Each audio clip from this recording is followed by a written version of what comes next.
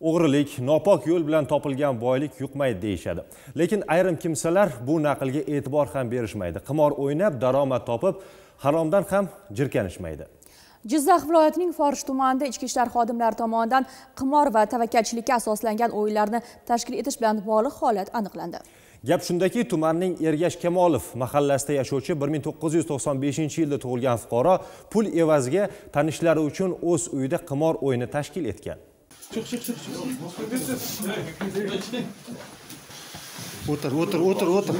Forish tuman ichki ishlar bo'limi xodimlari tomonidan o'tkazilgan tezkor tadbir davomida ergash kamolov mahallasining nurobod ko'chasidagi xonadonda 11 nafar fuqaro qimor o'ynayotganligi aniqlandi va 10 dona o'yin kartasi shuningdek 7 million 151 ming so'm pul xolislar ishtirokida daliliy ashyo sifatida hujjatlashtirib olindi. Ma'lum bo'lishicha qimorbozlarga xonadon egasi barcha sharoitni yaratib bergan va har bir o'yin oldidan 5 ming so'm miqdorida pul olib turgan. Qimor hamda tavakkalchilikka asoslangan boshqa o'yinlarni tashkil etish va o'tkazganlik uchun o'zbekiston respublikasi jinoyat kodeksida javobgarlik belgilangan. Ushbu holat qonun buzilishidan dalolat berishi shubhasiz. Mazkur holat yuzasidan tuman mas'ullari va fuqarolar ishtirokida bo'lib o'tgan jinoyat muhokamasida nafaqat qimorbozlik balki boshqa jinoyatlarning ham oldini olish borasida so'z yuritildi. Hududda ishlarni e, yaxshi yo'lga qo'yganimizda boyagi qimorxonani tashkil bo'lmasdi.